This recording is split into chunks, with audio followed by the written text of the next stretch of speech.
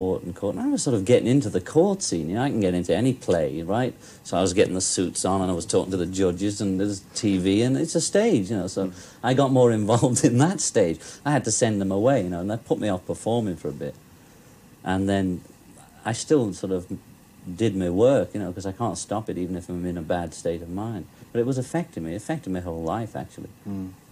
Because we read a lot, and I know for sure that the reports are terribly exaggerated about the thing at the Troubadour. Oh, yeah. John. Yeah. What did actually happen? I got drunk and shouted.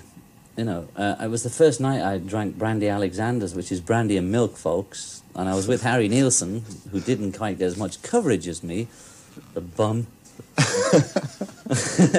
and he really encouraged me. You know, there was I usually have somebody there that says, "Okay, Lennon, shut up," and I take it. You know, but I didn't have anybody around me to say "shut up," and I just went on and on. But there was some girl that claimed I hit her, which I didn't hit her at all. You know, she just wanted some money. I had to pay her off, you know, because I thought it'll harm immigration. And she said she was a press photographer. She had an Instamatic, you know.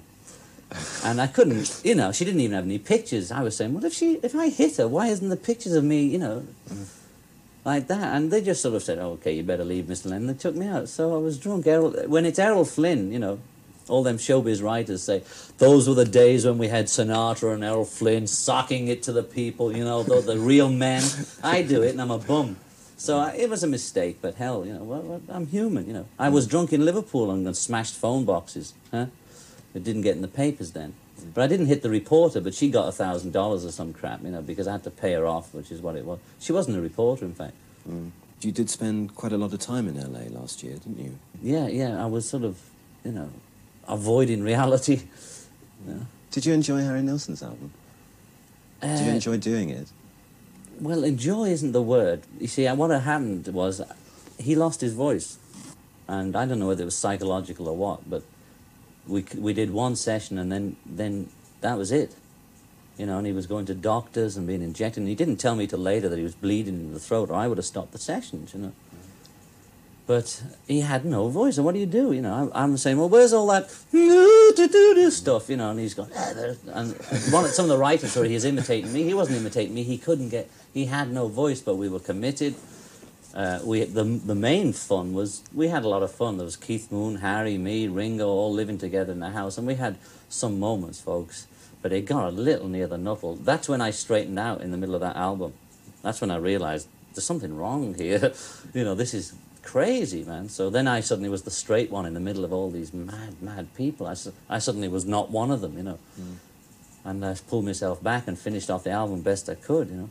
But it's just a shame that he, you know, what do you do? I mean, you know, we'd already spent the money. Everybody was booked in. We had tapes, and uh, so me and Harry probably had the best out of it, you know, because we had spent a few good nights together.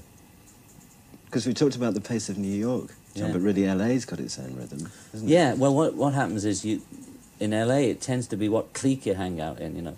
So obviously, when I get down there, I'm in with the, mainly the musicians. You- touch the fringes of the movies and the other scenes, you know. They sort of intermingle, but you know, LA is a lot big rock show down there, you know, and so it's mainly a lot of musicians, you know. From we're all jamming around in different sessions, and it's all that scene, you know. Hmm. So that that has its pace, but it's a little manana when you come out, you know. Like, can we get so and so, you know? Hey, man, what's your sign, baby?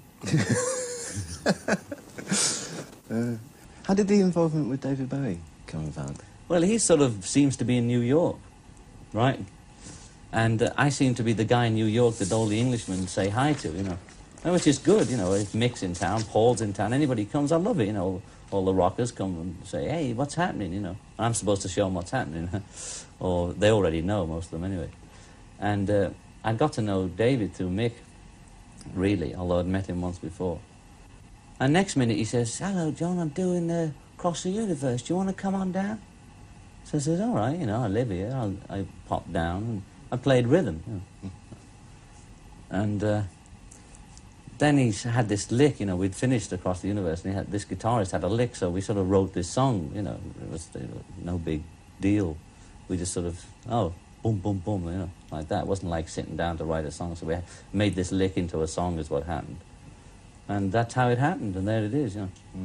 And people are always saying, well, what's he doing with Elton John and David Bowie? I'm doing it because It's fun, you know. Mm. You used to do it like we used to have Brian Jones on "You Know My Name," a Beatle number. He's, you know, he's playing on that, playing sax. You know, but in those days you couldn't tell. You weren't supposed to tell. So we'd have a lot of people on our sessions, the Beatles sessions, and nobody'd know who was on because we weren't allowed to tell. Then it went through the phase where you said, you know, you know, Johnny O'Len is playing guitar, or George O'Harris. Your George has some name. He's played on everybody's records. But now you just put your name on it, you know, as long as the company knows. Mm. And it's cool, you know, especially if you're doing nothing. Yeah, because you seem to have really enjoyed the things you did with Elton. Oh, yeah, yeah. Yeah. Well, Elton and I are very close, you know. David, I, I know him quite well, but I don't know him as well as Elton. It was just, you know, what do you say? I'm doing your song. You want to come? All right, I'll come. Did the live thing that you did with Elton prompt you to start thinking about going on the road again? No, well, my, my, my quote was, when I came off, I enjoyed it a lot, but I wouldn't like to do it for a living. you know, I mean, if I can live without doing it, I'll do it. If I get the urge to perform, you know, I'll do it. And if I do a tour ever, I'll wait till my green card and I'll do a tour of the world, you know. I don't just going around in circles a bit, you know. I may as well do it all. But uh, I, st- I always like was a record man, you know. I mean, I like the studio always best once I got the hang of it and the control of it. I like it because it's complete control. And even as a fan when I was younger, I wasn't that mad on seeing the artist live. I like the record, you know. I like the record of Be-Bop-A-Lula, say. I'm not particularly mad on seeing Gene Vincent every time he came to town. You know, I wasn't that upset that Elvis never came to England. I'll go for the records, the pre-army records, you know. So uh, records is what I was hooked on. You know, if they came around, I might go see, you know. The inevitable question. I mean, Are they ever going to get back together? Yeah, I mean, first of all, is there any possibility? But secondly, much more important, Yeah. do you think that it's a good idea?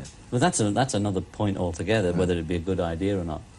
Uh, you see, it's strange because at one period when they're asking me, I was saying, no, never, what the hell, go back, no, not me.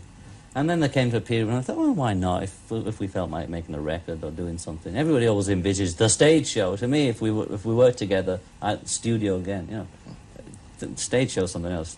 Go, if we got something to say in a studio, okay. Now, when I'm saying that, I, I turn the paper and Georgie say, "Not me," right? It's never got to a position where every, every each one of us have wanted to do it at the same time. I think over the period of being apart, we've all thought, "Oh, that wouldn't be nice. That wouldn't be bad," you know. I mean, I've worked with Ringo. I've worked with Ringo and George. I haven't worked with Paul because we had a more difficult time. But now we're pretty close, you know. So it's a, and the other question is, would it be worth it? You know, but that is answered by if we wanted to do it. If we wanted to do it, then it'd be worth it. If we got in a studio together and thought we we turn each other on again, then it would be worth it. You know, mm. and sod the critics. You know, I mean, you know, they've got nothing to do with it. You know, the music is the music. If we make a, a piece that we think was worthwhile, it goes out. But it's such a, you know, it's pie in the sky. You know. Mm. I don't care either way, you know. If somebody wants to pull it together, I'll go along, you know. I'm not in the mood to pull it together, that's for sure. I've got too much, I think we all have got too much to do ourselves. But if they were all in town, I wouldn't be, I'd say, come on down, you know, put them on my record, right? Then it'd be a Beatle record. But if they were around, you know, I jammed with Paul. I I did actually play with Paul, yeah. We did a lot of stuff in LA. But there was 50 other people playing too, and they're all just watching me and Paul, you know. Yeah. Yeah. You must be pleased with what Paul's doing now, John. I'm band on the pleased that everybody's doing well. You know, Yeah. I'm more pleased that Ringo's doing well. You know, that he's got himself a good niche. Because I knew Paul would be all right. What the hell I'm I worried about him? You know, I know, no, he's going to be all right. In retrospect now, do you regret How Do You Sleep? No, somebody said the other day it's about me. Know, I regret that it it it was so not what the song is. I well, two things I regretted. One that there was so much talk about Paul. I I mean, they missed the song. It was a good track, and I should have you know kept my mouth shut. Not on the song. It could have been about anybody. You know, I mean. And when when you look at them back, you know, Dylan said it about his stuff that he found out most of it's about him. I wrote a sort of "Son of How Do You Sleep" on on Walls and Bridges. Uh, I can't remember the name, Steel and Glass, which I thought was about a few people, but then I'm realising, no, it's me again. So it's not about Paul, it's about me. You know, I'm really attacking myself. But I regret the association. But eh, what I regret, you know, I mean, he, he lived through it. The real, the only thing that matters is how he and I feel about those Yeah, things, yeah. and not what about, you know, the, the writer or the commentator thinks about it. You know, him and me are okay, so I don't care what they say about that. You know, I can go through my thing. I've always been a little different. You know, Lennon blasts Hollies. You know, that was one of the early steps. I mean, that, I've always been that. Our first national press was me beating up a disc jockey at Paul